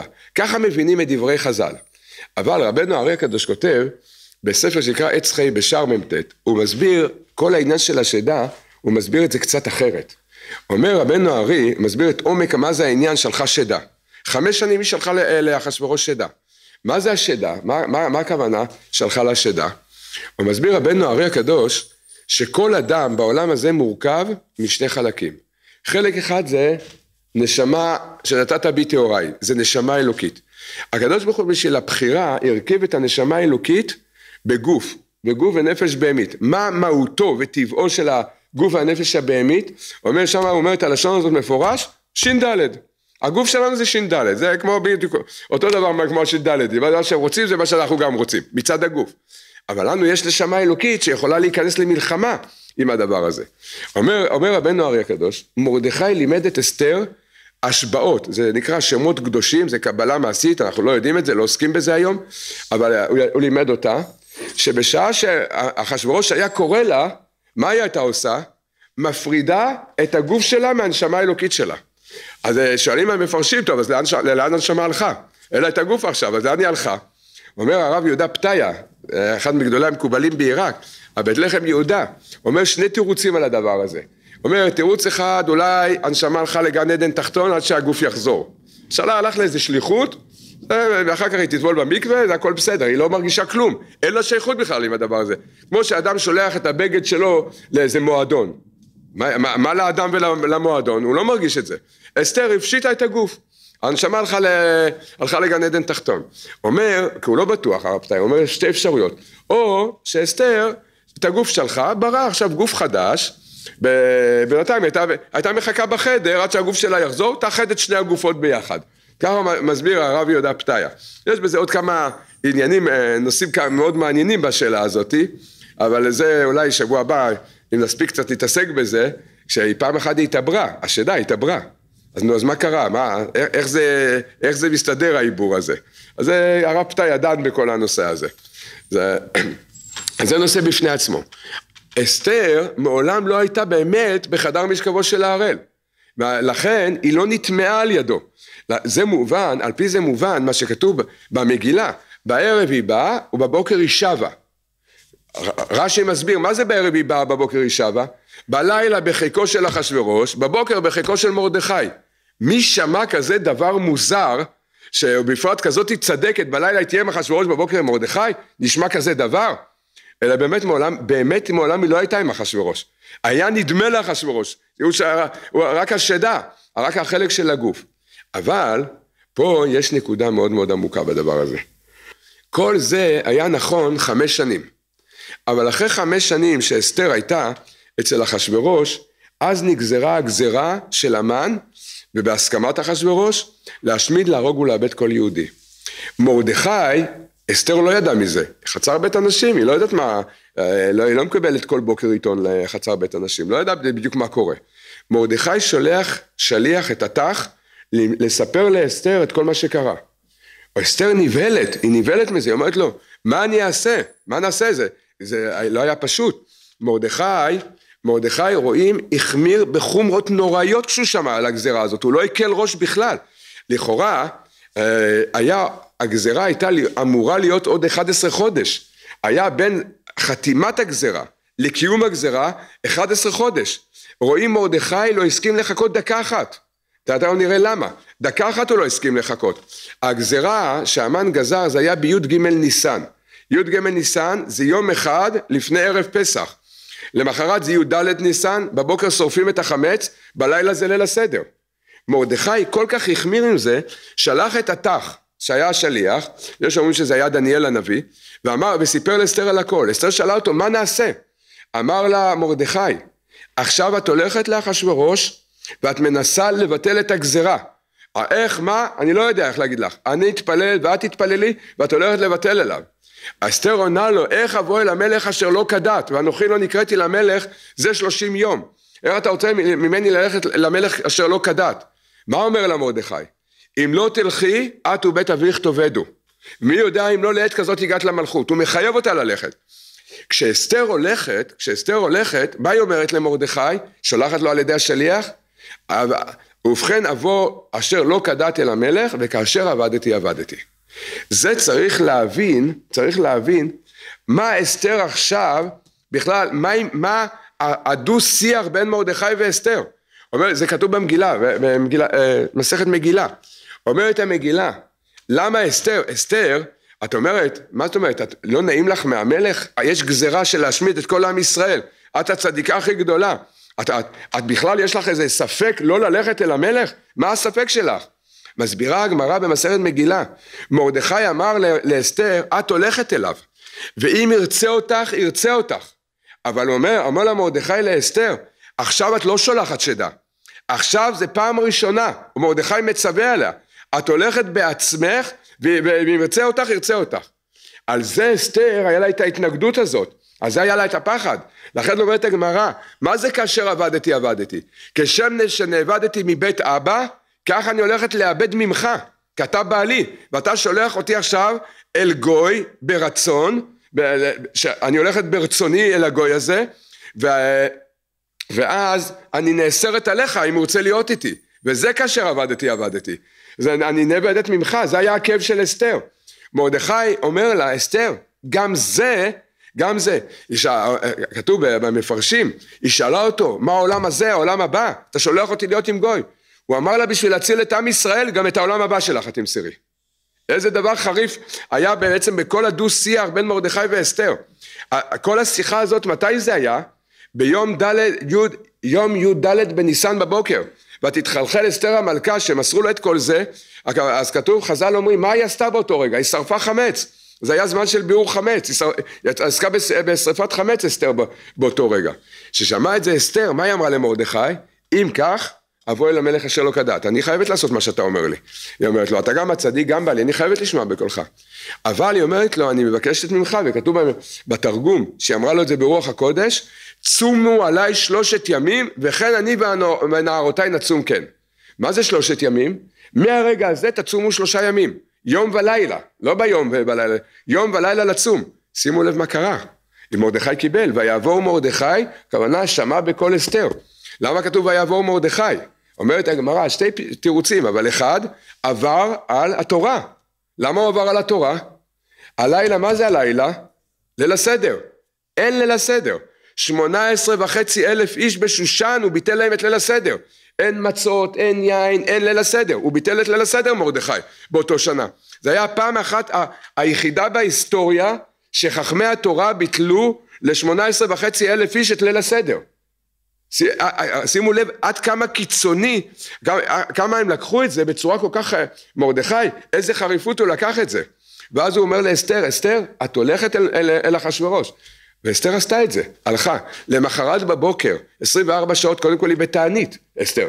וכולה תפילות, התבודדויות, לא שש שעות התבודדות, כמו שאומרים היום, יש כאלה שאומרים בברסלב. זה היה 24 שעות התבודדות בלי הפסקה. ותלבש אסתר מלכות ותלך אל המלך. הלכה. כתוב פה, כתוב במגילה, ויהי ביום השלישי, זה היום השלישי, זה, זה הכוונה, זה יום טוב של פסח, זה, זה, זה בעצם ט"ו בניסן, זה יום טוב של פסח בבוקר. ותלבש אסתר מלכות, ושימו לב, מה זאת אומרת תלבש מלכות? זה תיוג של הגמרא, מה היה צריך להיות כתוב, מה, מה היא לבשה? בגדי מלכות, מה זה מלכות? הכוונה את השכינה, השכינה היא הבאה, זה הכוונה ותלבש אסתר מלכות. ותעמוד, ותעמוד בחצר בית המלך הפנימית נוכח בית המלך והמלך יושב על כיסא מלכותו. בבית המלכות נוכח פתח הבית. ויהי כראות המלך את אסתר המלכה עומדת בחצר, נשא חן בעיניו ויושט המלך לאסתר את שרביט הזהב אשר בידו. ותקרא באסתר ותיגע בראש השרביט. למעשה כל הגאולה, כל הישועה, זה, זה השלושה פסוקים האלה שקראנו. כל סוד המגילה זה השלושה פסוקים האלה. אומר הזוהר הקדוש, שבשעה שאסתר הלכה, כתוב פה, ותעמוד נוכח חצר בית המלך הפנימית. זאת אומרת שהיו חצרות בתוך חצרות. כי המלך, כל המבנה של המלכות והחצרות של המלך, זה היה הכל לפי כוחות של טומאה, עבודה זרה וכישופים. הם לא היו פשוטים. זה דור שיש נביאים, אז בצד השני יש אה, אה, הרבה הרבה ידע והרבה אה, חוכמה בעבודה זרה ובכישופים. אומר הזוהר הקדוש, לבוא לחצר של אחשורוש היה שביל, השביל הזה היה מלא משני הצדדים שלו לכל אורך הדרך בעבודה זרה ובכישופים. אסתר נכנסת לבית הצלמים, זה הכוונה שאסתר נכנסה לבית הצלמים שכתוב במדרש, זה היה טומאה נוראית שמה, שימו לב, ננסה ננסה קצת להבין מה הכוונה, איפה, לאיפה אסתר הולכת, נחשוב ככה, שאדם צדיק, מתבודד, לומד תורה, חוזר בתשובה, שולחים אותו למועדון הכי טמא בניו יורק, במנהטן, או בתאילנד, הכי, המקום הכי טמא בעולם, איך בן אדם ירגיש? זה, זה סתירה מאוד מאוד גדולה בנפש של האדם, לעבור ממצב קיצוני למצב קיצוני. לכן כתוב, ותלבש אסתר מלכות לפני שהיא הולכת, השכינה התעטרה בה, העירה בה השכינה. אומר, אומר, אומר המדרש והזוהר הקדוש, ברגע שהתחילה ללכת לכיוון אחשורוש, הגיעה לשם נוכח חצר בית, המל, בית המלך הפנימית, מה קרה לה? מיד הסתלקה ממנה השכינה, רוח הקודש הסתלקה ממנה. מה עשתה אסתר באותו רגע? היה לה צער עצום ונורא. אני, אני נשלחת למקו, למצב כזה נורא, ועוד עכשיו גם השכינה, רוח הקודש, הקדושה עוזבת אותי? מה, אני אבודה לגמרי. מה היא עשתה באותו רגע? אז היא צעקה, מזמור כ"ב בתהילים, קלי קלי, למה עזבתני? קלי קלי, למה עזבתני? למה אתה עוזב אותי במציאות כזאתי? אומר רבנו הארי הקדוש, הוא מקשה קושייה. יהודים תמיד אוהבים לקשות קושייה, תראה מסכנה, אתה, מה עכשיו אתה מקשה על הקושייה? אבל ככה זה בעם ישראל, ברוך השם. רבנו הארי הקדוש מקשה קושייה, הוא אומר, למה אסתר צעקה פעמיים קלי? מה חסר היה בסדר, את הצער מבינים, מציאות קשה. תגידי, קיילי למה עזבתני? למה קיילי קיילי למה עזבתני? כי אין שום מילה לא מדויקת אצל הצדיקים ובתורה. הוא שואל למה היא אמרה פעמיים קיילי? אומר רבנו ארי הקדוש, שיש, זה גם מובא באליקוטים מורן היסוד הזה, יש רחמים פשוטים, אבל יש רחמים גדולים. זה, זה נקרא בלשון הקבלה, רחמים של התפארת, אבל רחמים של הכתר זה הרחמים הגדולים. זה מה שנקרא רחמי עתיק ועריך. זה סוד הדקנה, 13 י"ג מידות של רחמים. אסתר, אומר רבנו הארי הקדוש, היא צעקה קיילי קיילי, שם קל, א' ל', זה רחמים וחסדים. אומר רבנו הארי הקדוש, היא צעקה פעמיים כדי להגיע לרחמים הגדולים. קיילי אחד זה לתפארת, אבל היא ידעה שזה לא מספיק. אז היא עלתה בצעקה, בתפילה שלה, היא עלתה עד לכתר, עד לסוד רחמי עתיק ועריך, כי היא הבינה שבמקום כזה במקום כזה לא, לא יעזור כלום. ואז מהצעקות האלה של, של אסתר היא הולכת, היא צועקת והולכת, עושה התבודדות. זה בשיא הטומאה, אבל היא עושה התבודדות. זה מפה לומדים שיהודי אפילו לא משנה מה יעבור עליו, אל, אל תפסיק להתבודד. תצעק לקדוש ברוך הוא, קלי קלי, למה עזבתני? היא הגיעה לזה, היא הגיעה נוכח, בית, נוכח המלך, המלך ריחם עליה, הכתוב המדרש אומר, באותו רגע הוא רצה להרוג אותה. הגמרא במסכת מגילה אומרת, באותו רגע הוא רצה להרוג אותה, הוא כעס עליה. כי אף אחד לא ניגש למלך בלי רשות, זה, זה עבירה מאוד חמורה במלכות. זה הכל צריך להתנהג על פי רצון של המלך, מה פתאום את באה אליי? מה את מטרידה אותי עכשיו? אני קראתי לך. ברגע שהוא רצה להרוג אותה, מלאך הכניס רחמים בלב שלו, ויושט לה את שרביט הזהב, ותיגע אסתר בראש השרביט. ברגע שנגע בראש השרביט, אסתר הומתקו כל הדינים, כל הדינים מעל עם ישראל. 24 שעות אחרי זה תלו את המן, אבל פה כבר התבטל, התבטל הכל. כל גזירת המן, כל קליפת עמלק, התבטלה בסוד הנגיעה בראש השרביט. כתוב בספרים הקדושים, מה זה השרביט? השרביט זה נקרא גבורות דעתיק, זה אור אין סוף שנמשך, ואם יש זכות מאוד מאוד מאוד גדולה אז יש את סוד השרביט הזהב, מי יחזיק את השרביט הזהב בשלמות ויתקן את כל העולם על ידי זה? משיח צדקנו. כך אומר רבנו הארי הקדוש. שרק משיח יגיע לה, בכללות הדורות והעולם, הבריאה, הוא יגיע לשרביט בשלמות. אבל אסתר כבר נגעה בבחינה של משיח, נגעה בראש השרביט, נגיעה, עוד לא, לא, עוד לא, עוד לא היה זמן שהיא תתפוס את זה ביד, נגעה את זה ביד. היא זכתה להמתיק את כל הדינים מעל עם ישראל. עכשיו נתבונן, למעשה במה שדיברנו עכשיו, יותר בעומק של הדבר. בואו נתבונן מה היה פה. מה אמרנו עכשיו, כמו שכתוב, ואנחנו יודעים, זה הפירוש, זה מה שקרה. היא הולכת למקום הצלמים, לבית הטומאה, ואז היה רחמים ואחשוורוש אה, השליט לה את השרביט. אבל נזכור, יש חז"ל, הגמרא, אומרת לנו מפתח נוסף ללמוד את מגילת אסתר. והיא אומרת לנו סוד, יסוד, יסוד ללימוד המגילה. כל מקום שכתוב המלך, ללמוד את זה גם על הקדוש ברוך הוא. אין מקרא יוצא מידי פשוטו. ובפשט זה אחשורוש, אבל בפנימיות ובעומק זה הקדוש ברוך הוא. שימו לב, לכן קראנו קודם שלושה פסוקים. שימו לב בשלושה פסוקים האלה מוזכר אחשורוש. ויהי ביום השלישי ותלבש אסתר מלכות ותעמוד בחצר בית המלך הפנימית. נוכח בית המלך, והמלך יושב על כיסא מלכותו. ויהי כראות המלך את אסתר, נשא חן בעיניו, ויושט המלך לאסתר את, זווית, את שרביט הזהב. ויאמר לה המלך, מה לך אסתר, מה, המלכה, מה שאלתך ומה בקשתך. שימו לב, כל הפסוקים האלה לא מוזכר אחשורוש. אם לא מוזכר אחשורוש, אנחנו צריכים ללמוד את זה גם, שכל הפסוקים האלה, במקום שכתוב המלך, מה צריך להיות כתוב? הקדוש ברוך הוא. ככה חז"ל נתנו לנו את המפתח הזה. ואז בואו נלמד את זה לפי המפתח שלימדו אותנו חז"ל. ותעמוד בחצר בית הקדוש ברוך הוא הפנימית. שואלים כל המפרשים, מה זה חצר בית, מה, מה זה חצר בית, אה, בית הקדוש ברוך הוא הפנימית? מה זה, מה זה נקרא החצר הפנימית של הקדוש ברוך הוא? מה זה נקרא? בית המקדש קודש הקודשים. זה נקרא, זה הכוונה. חצר בית המלך הפנימית של הקדוש ברוך הוא זה קודש הקודשים, בית המקדש וקודש הקודשים.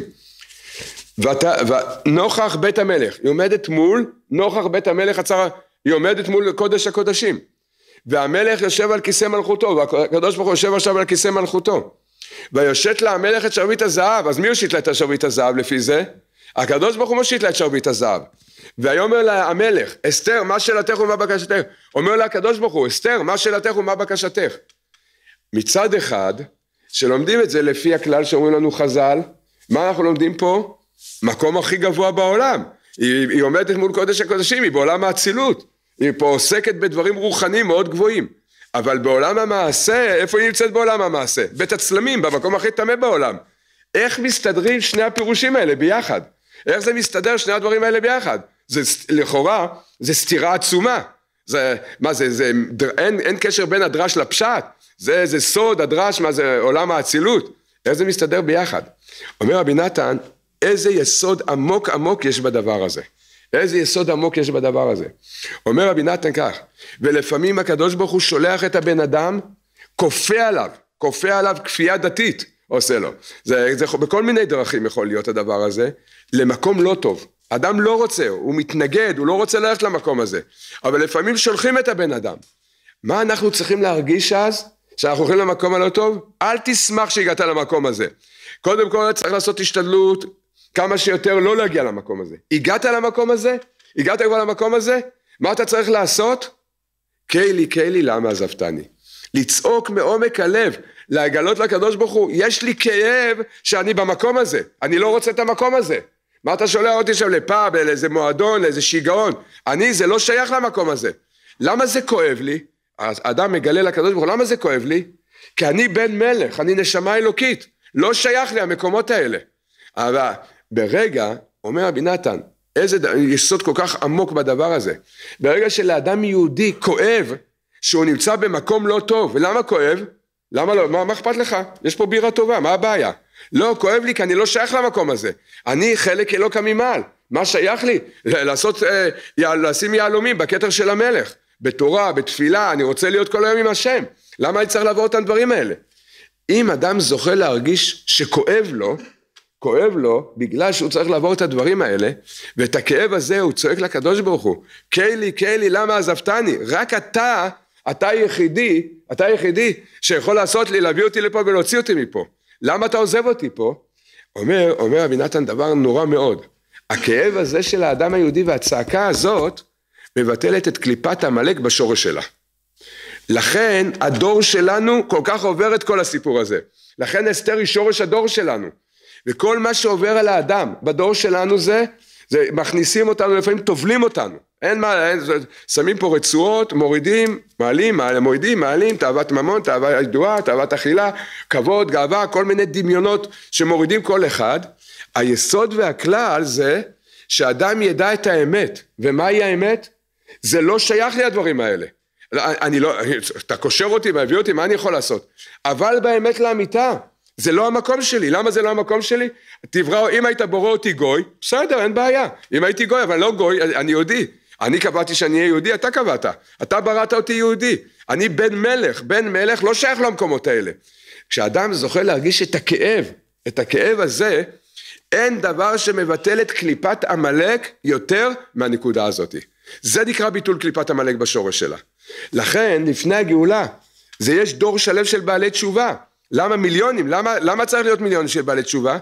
כי כל אחד, הרי בעל תשובה בדור שלנו זה תינוק שנשבע, מה, מאיפה בן אדם בכלל ידע? והולידו אותו במקום שאמרו לו אם יש תאווה או עבירה אחת ואתה לא תעשה אותה אתה תיתן את הדין על זה. לכן אדם מגיל שלוש הוא מתחיל לרוץ אחרי התאוות. אמרתי לכם, מישהו שאל אותי, הוא אמר לי שאני, שהוא שמע שלמדתי פיזיקה. אז אמר לי, תשמע, יש לי שאלה בפיזיקה. אמרתי לו, מה השאלה בפיזיקה? אמרתי לו, תראה, אמר לזה הרבה שנים עברו. אמר, טוב, תן לשאול אותך, אם תדע, תדע. אמר לי, תגיד, למה כדור הארץ מסתובב סביב עצמו? הוא אמר לי, סביב השמש אני יודע למה הוא מסתובב, למה הוא מסתובב סביב עצמו? אמרתי לו, מה, אתה לא יודע את התשובה? אמר לי, לא. אמר לי, מה, זה פשוט. אמרתי לו, אני למדתי את זה בפיזיקה מודרנית, גרעינית למדתי את זה. יש שבע מיליארד אנשים בכדור הארץ. 99 אחוז רצים סביב על קו המסווה אחרי התאוות שלהם, מסתובבים את כדור הארץ, זה, זה הפיזיקה, זה, כל כדור הארץ מסתובב בגלל השיגעונות שאנחנו אנחנו בעצמנו בריצות שלנו אחרי התאוות מסתובבים את כדור הארץ. הקדוש ברוך הוא הוריד אותנו, כל אחד יש לו בדיוק את השטח שלו. בזמן, בשלב שרק הקדוש ברוך הוא יודע את זה, פתאום שלח לאדם ניצוץ בתוך הראש בתוך הלב, בתוך המוח, פתאום אדם מתעורר ואומר איפה אני נמצא? היכן אני בעולם? כמו השני למלכות שהתעורר, היכן אני נמצא בעולם? פתאום אדם מתעורר. עכשיו, מתחילים לראות את האמת, אדם מתחיל להתרחק. ואנחנו יודעים כמה מלחמות, וכמה ניסיונות, וכמה קשיים, וכל זה, למה זה, למה כל, למה, מה הקדוש ברוך הוא רוצה מאיתנו? את הכאב שיכאב לנו על זה שיש לנו את היצר הרע הזה. ומה הכאב? זה לא שייך לי. הכאב זה בגלל שאני מרגיש, זה לא דבר ששייך לי. לא שייך לי לקחת עוגת קצפת והגית בה יומם ולילה. אנחנו צריכים להגות בתורה יומם ולילה, לא בדמיונות יומם ולילה. וכל המחש... רוב המחשבות שלנו, והגית בכל מיני דמיונות יומם ולילה. זה מה שקורה עכשיו, כמעט לכולם זה עוברים את הדבר הזה. ברגע שאדם מצטער מהדבר הזה וכואב לו, זה סוד המתקת הדינים בשורש העליון ביותר בביטול קליפת עמלק. לכן, שאסתר צעקה כי כאב לה שהיא הולכת למציאות הזאת ויושבת להמלך את שרביט הזהב ותיגע בראש השרביט, המן כבר נתלה, הוא לא יודע, זה כבר נגזר, נחתם ונחתם בטבעת המלך, אתה הולך, מה, יש לך עוד 24 שעות, תתחיל להכין את ההספדים, שיתחילו להכין לך את ההספדים, כי ברגע שיהודי צועק את הצעקה הזאת, קלי, קלי, למה עזבתני, וזה בא מהכאב הזה, מבטל לגמרי את קליפת עמלק. נגיד עכשיו, יש איזה מדרש, מדרש פליאה, ממש מדרש פליאה, יש ספר שנקרא גליה רזה, לא גליה רזיה, אלא גליה רזה, זה שני ספרים. גליה רזיה, שהוא קצת יותר ידוע, הוא, זה ספר מאחד הראשונים, בעל הרוקח, אבל יש ספר קצת יותר מאוחר, מאחד מתלמידי הארי הקדוש, קראו לו רבי אברהם. וכתבו, הצדיקים כתבו על הספר הזה דברים נוראים, שמתגלים בו דברים נוראים. שם בספר גליה רזה הוא מביא מדרש, מדרש פליאה. כתוב שהרי בלעם יעץ למואב ולמדיין להחטיא את עם ישראל בבנות מואב ובנות מדיין. עשו את זה והצליחו, לצערנו הרב גם הצליחו בזה. אחרי ש... שזה נגמר ומשה העניש את... ופנחס הרג את זמרי וכן הלאה, הקדוש ברוך הוא אמר למשה רבנו, עכשיו צרור את המדיינים בנוכליהם. לך נקום את נקמת, את נקמת עם ישראל במדיינים על מה שהם הכשילו אתכם, בבנות מדיין ובנות מואב. אז משה הכין את הצבא למלחמה, ובאמת כך היה. אומר המדרש כך, בא הסמ"ם לפני, לפני איזה בית דין של מעלה, וטוען טענה בבית דין של מעלה. מה הוא טוען טענה? אומר, אני לא מבין, מה עכשיו מענישים את המדיינים? ככה אומר להם הסמ"ם, אני, כל התפקיד שלי זה להכשיל את עם ישראל. אני שלחתי את הבנות שלי, ככה אומר המדרש, שלחתי את הבנות שלי, כלומר בנות מדיין, להחטיא את עם ישראל והצלחתי בעבודה שלי. על זה שאני הצלחתי, אותי אתה מעניש? מי נכשל? אני נכשלתי? עם ישראל נכשל. תעניש את עם ישראל, מה אתה מעניש אותי? ככה, ככה, ככה אומר הסמ"ם, לפני בית דין של מעלה. אז שאל אותו הקדוש ברוך הוא את הסמ"ם, אמר לו, מי זה, ש... מי זה שנלחם במדיין? שר צבא, מי זה הולך להיות המפקד הצבאי של כל המבצע הזה? הלך בירר, אמר פנחס בן אלעזר בן אהרון הכהן. אמר לו הקדוש ברוך הוא לסמ"ם, פנחס, מאיפה הוא בא? עיין באוכלוסין, ביוחסין. עיין ביוחסין, סבתא שלו הייתה מדיינית. אבא שלו, אלעזר הכהן, התחתן עם, צ... עם אה, אישה שאימא שלה הייתה מדיינית, מבנות יתרו. אמר לו הקדוש ברוך הוא לסמ"ם, אם כך, זה סכסוך של מדיין במדיין, ואין לנו, ואין לנו מה להתעסק עם זה. ויצא הסמ"ם בבושת פנים מבית דין של מעלה. ככה אומר המדרש. עכשיו, מישהו יכול להבין בכלל את הדבר הזה? זה דבר פלאי. זה, כל המדרש הזה זה, זה מדרש פליאה. מדוע זה מדרש פליאה? הרי הטענה של הסמ"ם צודקת. הרי אם נהיה כנים, הקדוש ברוך הוא ברא את העולם בשביל הניסיון, בשביל הבחירה. אנחנו, הוא לא צודק הסמ"ם? אומר, אני, התפקיד שלי להכשיל את עם ישראל. שלחתי את הבנות שלי, מדיין זה נקרא הבנות שלו, של הסמ"ם. שלחתי את הבנות שלי להחטיא את עם ישראל. עשיתי את ה... לכאורה, לפי איך שהקדוש ברוך הוא ברא את העולם, לפי חוקי הבריאה, הוא צודק או לא צודק הסמ"ם? טענה שלא צודקת. או לכאורה הוא צודק. יש דין, יש עבודה, לא ז... נכשלנו. מה מענישים אותם? צריך להעניש את עם ישראל. הקדוש ברוך הוא אומר לו, כל מה שהוא אומר לו, פנחס הוא בא ממדיין, איזה מין תשובה זאת? מישהו יכול להבין את התשובה הזאת? איזה טענה הקדוש ברוך הוא אומר לסמ"ם, שאומר המדרש, שאומר המדרש כך, יצא הסמ"ם בבושת פנים מבית דין של מעלה, ועל זה נאמר, כך כתוב, ועל זה נאמר מהרסייך ומחרבייך ממך יצאו. מי שיצא מהטומאה הוא יחריב את הטומאה. על זה, על זה זה נאמר. לא מובן, כל המהלך הזה לא מובן. אבל באמת באמת יש פה דבר מאוד מאוד עמוק. מאוד עמוק יש בדברי המדרש הזה. העומק של הדבר, הרי המדרש אומר, פנחס, השורש שלו, מצד הסבתא שלו, היה ממדיין. אומר, כמה, כמה מפרשים מסבירים את זה, פרי הארץ, רבי צדוק ועוד, מסבירים, מכיוון שפנחס אה, היה לו שורש במדיין, מצד הבנות, לא אבא שלו, מצד הסבתא, מצד בנות מדיין, לכן לפנחס היה ניסיון עם בנות מדיין. היה לו יצר הרע של בנות מדיין, לא עכשיו, מזמן, מגיל צעיר היה לו ניסיון בזה. אבל פנחס היה צדיק מאוד גדול. פנחס ראה שיש לו משיכה לדבר הזה, כי כל אדם יש לו משיכה לשורש שלו, למקור שלו. היה לו ניסיון עם זה.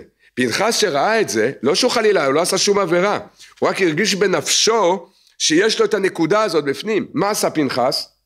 ארבעים שנה במדבר, כל לילה במדבר, הוא קם חצות, שעתיים התבודדות, הוא צועק לשם, השם תיקח ממני את קליפת מדיין, קח ממני את קליפת בנות מדיין, אני לא רוצה את זה. הוא מצטער וצועק לשם מתוך הצער שלו.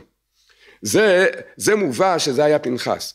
זה מה שהקדוש ברוך הוא אומר לסמ"ם. אומר לו, מי מבטל את כל הקטרוג שלך ואת כל, כל הטענה של מדיין? מי שיצא ממדיין וצעק שכואב לו, העניין של מדיין, הוא מבטל את כל הכוח של, של הסטרא אחרא.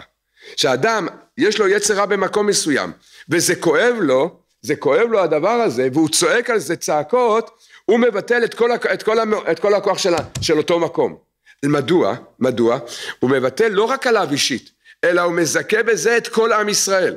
צריך להבין, בסדר, אתה צדיק, אתה מזכה, אתה, אתה נקי, ניקית את עצמך. ש, שנים צעקת על הדבר הזה עד שזכית להיות. למה אתה מגן על כל עם, למה יש פה זכות להגן על כל עם ישראל?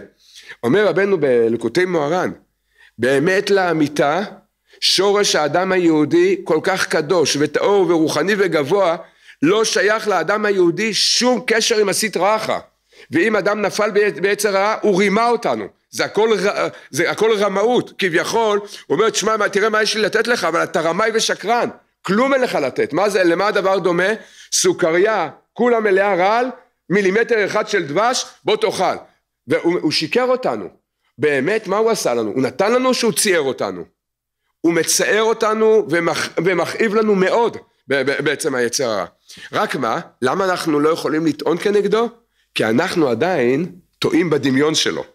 מספיק שיהיה בעם ישראל אחד שיכול לצעוק, שצעק הרבה שנים, השם כואב לי מהרעלים שהוא הכניס לתוכי, שיש לי רעלים ממנו, כואב לי הדבר הזה, הוא מגלה, אותו צדיק מגלה בשביל כל עם ישראל את השקר הזה של, של הסמ"ם. לכן הוא מבטל את הגזרות מעל כל עם ישראל. ברגע שאסתר צעקה, קלי קלי למה עזבתני, ופנחס זכה לתקן את זה, למעשה הוא מבטל את כל הכוח של היצר הרע. כל הכוח של היצר הרע זה רק דמיונות. זה רק, רק העניין של דמיונות. אין פה שום דבר באמת. כי מה הוא נותן?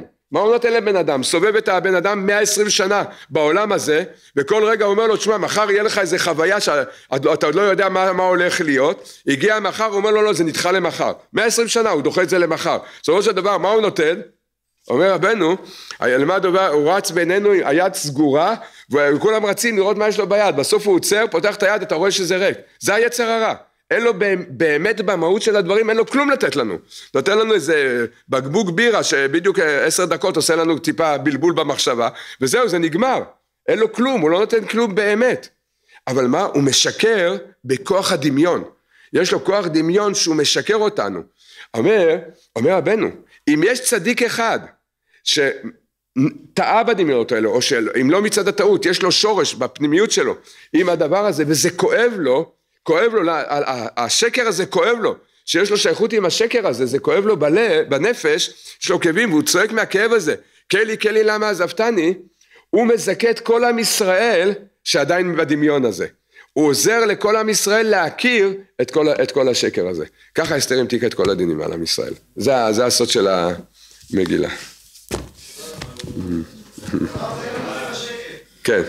אה, הנה עוד, אה, כן, אה, שלושים שניות. יש, ידוע, יש מנהג, שזה מנהג, תקנה, מאוד מאוד חשובה ופועלת גם דבר מאוד גדול, זה נקרא זכר למחצית השקל. כשהיה בית המקדש, היו אוספים בחודש אדר מחצית השקל מכל יהודי לטובת הקורבנות. וזה היה מזכה את כל עם ישראל, כי לכל עם ישראל היה חלק בקורבנות.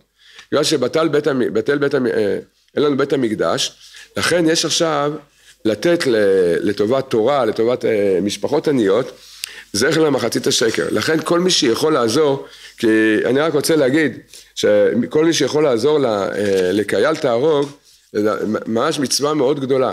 אנחנו עוסקים, ממש, אני יכול להגיד לכם, שעות על גבי שעות, בלהפיץ תורה ולעשות חסדים.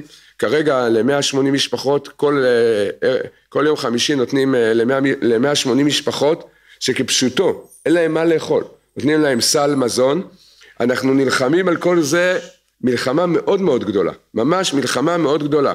צריך לדעת, כל מי שיעזור לקהל תרוג, אם זה בזכר למחצית השקל, אם זה בתרומות או בכל דרך שאדם יכול לעזור, צריך, אני, אני מבטיח לכם, זה ממש הולך לתורה ולחסד. וזה מה הגמרא אומרת, מה יעשה אדם ינצל מחבלו של משיח, מחבלי משיח, יעסק בתורה בגמילות חסדים. זה, רק אני יכול להגיד לכם, השבוע ממש ישבנו ודיברנו, לקחנו עוד חודש וחצי של נשימה. אמרנו, אם לא יהיה לנו, אם לא יהיה איזה סיוע, אנחנו פשוט נצטרך לעצור הרבה הרבה מהמהלכים. וחבל, כי יש כל כך הרבה מהלכים כל כך חשובים ומבורכים, אז כל, גם מחצית השקל, וכל מי שיכול לעזור, תבוא עליו הברכה.